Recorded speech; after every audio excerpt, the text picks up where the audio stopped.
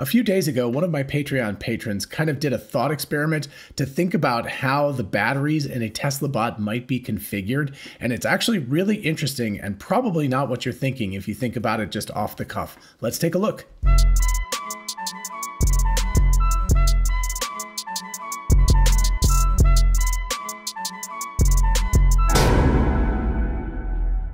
For those of you interested in investing, check out Webull, an amazing platform for buying and selling stocks, and now cryptocurrencies like Bitcoin, Dogecoin, and others. Open an account and get a free stock valued at up to $200, and fund your account and get another free stock valued at up to $1,600. Check out the link in the description and help the channel at the same time. Hey y'all, it's Dr. Know It All. So back in August of 2021, Elon Musk introduced the Tesla bot in, uh, you know, a fairly loose detail at the time and just sort of gave some indications of how it would work and everything. If you look at the uh, graphic that they put up at the same time, you can see a bunch of information about it.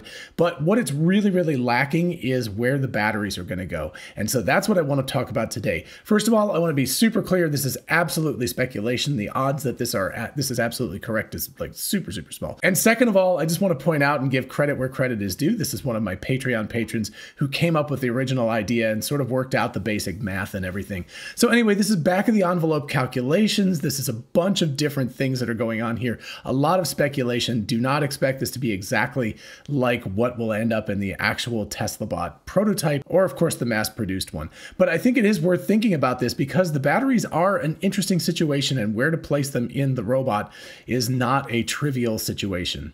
All right, so let's start with the graphic from the Tesla AI Day presentation. You can see we've got 5 feet 8 inches or 173 centimeters in real units and 125 pounds. I think that's somewhere around 50, 55 kilos, something like that. Anyway, so it's got a screen for a face. You can see that there's some sort of hardware 3 block of stuff that it's going to use as its main computer drivers, everything, right? Then it says lightweight materials, a bunch of actuators, etc., etc. And of course, force feedback sensing and a bunch of other things like that. The big thing that's not really apparent, maybe it's this back plate back here behind the Tesla bot, but it's not really clear where the batteries would go. And obviously for a robot, even though it's much, much lighter weight than a car and doesn't require as many batteries, it still is going to require, you know, the more power that you have, the more energy that you have to feed this thing, the longer it's going to be able to operate on a single charge. So that's all to the good. So let's think about how we might be able to put these batteries in. The first thing we should think about is the fact that Tesla is now a master of structural battery packs. They are now producing the Tesla Model Y with 4680 battery cells out of Texas that have a structural battery pack, which means the batteries are directly part of the structure of the vehicle. So they have that capability. In terms of this, they've also said that part of the structural battery pack is a sort of foam or something like that that they're using between the battery cells because they're still cylinders, right? They're still jelly roll cylinders, but in between them, they're putting a structural foam, which also has thermal capacity features too. So it helps to wick away heat at the same time that it's acting as a structurally rigid material. The next thing that's worth noting is that there have been leaks on Twitter and a couple of other places that there may be an extra large like 4610 as opposed to a 4680 battery cell. People have been speculating that might be really useful for something like the Cybertruck, which would have a, a, a higher bed. So you could have 11 centimeters as opposed to 8 centimeters for where the batteries would go.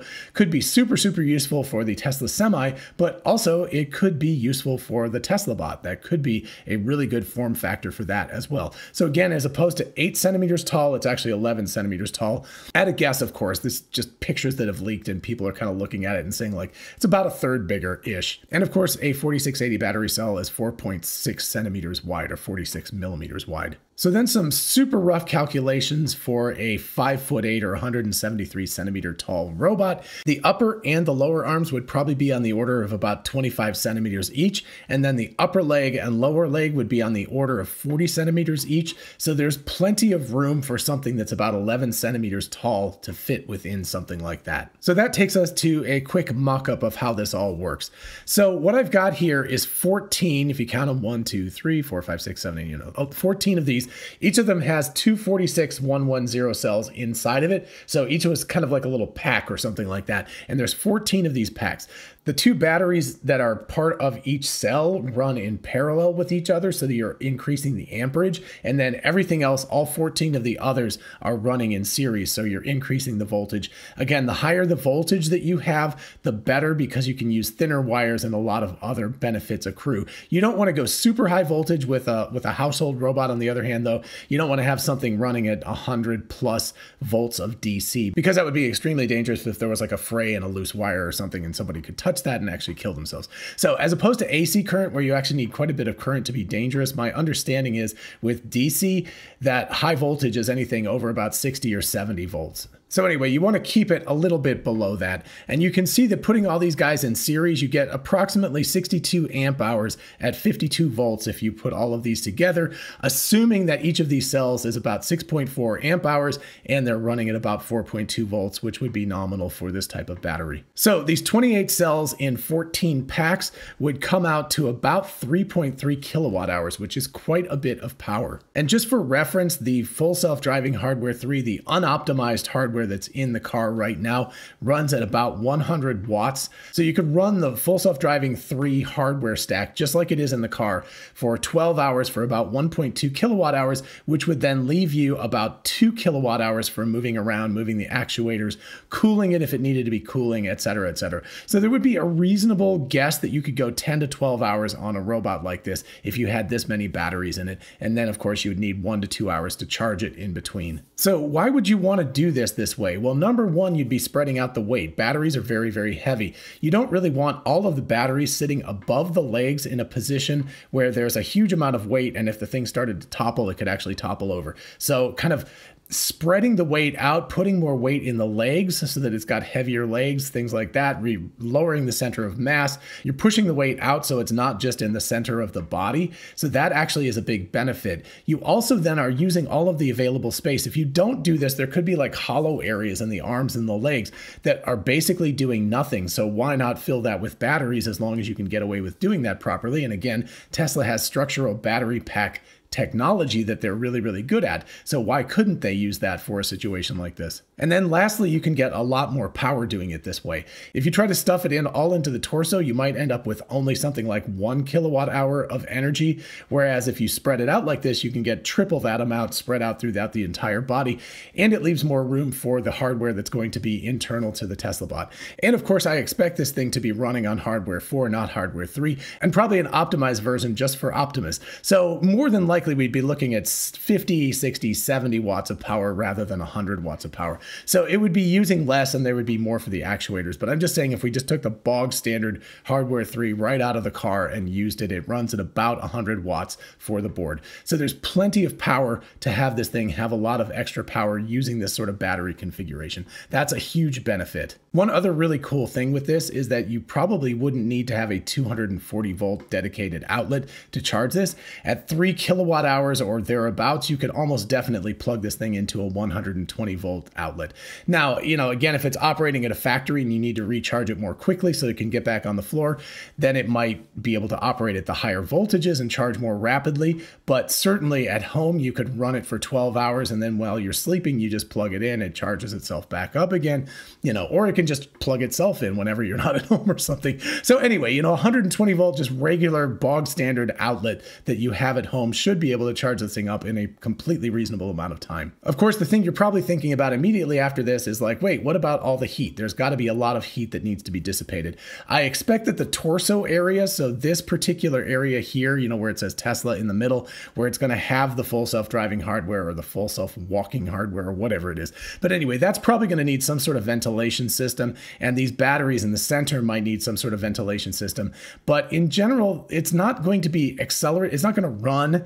It doesn't have to charge super fast, it doesn't have to discharge super fast, unlike a car. So it doesn't have to have nearly the kind of thermal envelope that a car has to have. So it might be able to get away, especially on these extremities, that it might be able to get away without any kind of extra cooling and just use the foam, the structural foam, to be able to passively cool it.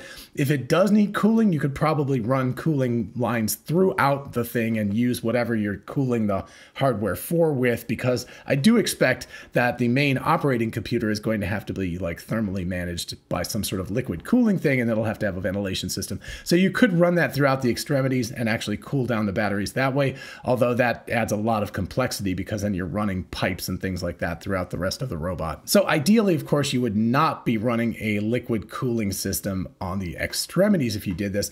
Now, even if you might need that, you could get clever with battery management because what you could do is have the central batteries, the ones that are close to the main hardware board, in other words, in the torso of it, those could be liquid cooled and actively cooled, and they could be the battery cells that are doing the most. You know, if it if it needs a lot of power all of a sudden or it needs to charge quickly, those could charge and discharge more rapidly first, and they could be cooled, and then the ones in the extremity can kind of provide more of a consistent power so that they can stay within a thermal thermal envelope, either charging or discharging. So, you know, again, you can be kind of clever with this, whereas you can do some thermal management, active thermal management with the ones in the torso. You could use a more passive thermal management scheme on the external ones simply by managing the batteries in a certain manner. So, anyway, yeah, there you have it. That is the idea. It's very speculative, but the basic idea is to take all of the batteries, all of the weight, and the inability to cram as much stuff as you want to into the torso of this robot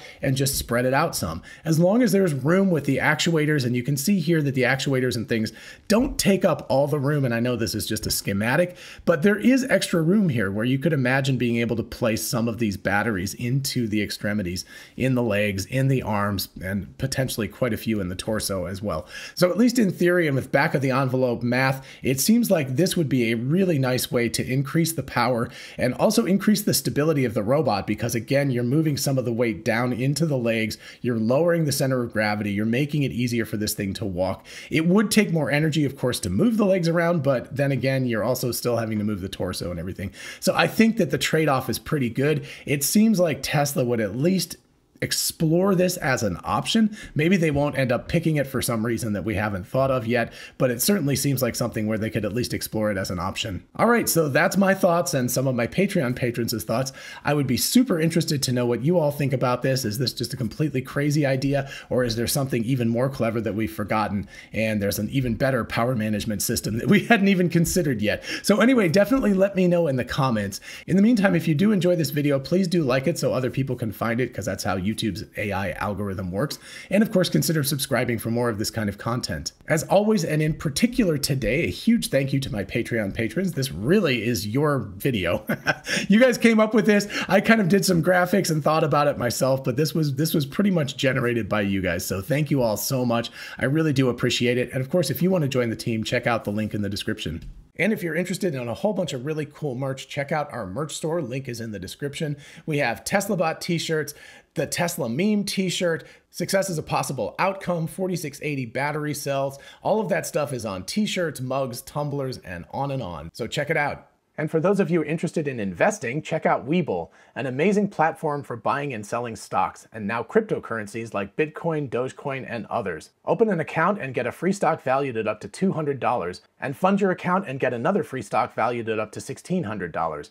Check out the link in the description and help the channel at the same time. Thank you. And finally, don't forget we are both Tesla and Amazon affiliates. If you look in the description, you can see how going shopping for a solar roof, a power wall, or anything on Amazon helps out the channel. In the meantime, I'll see you in the next one. Bye bye.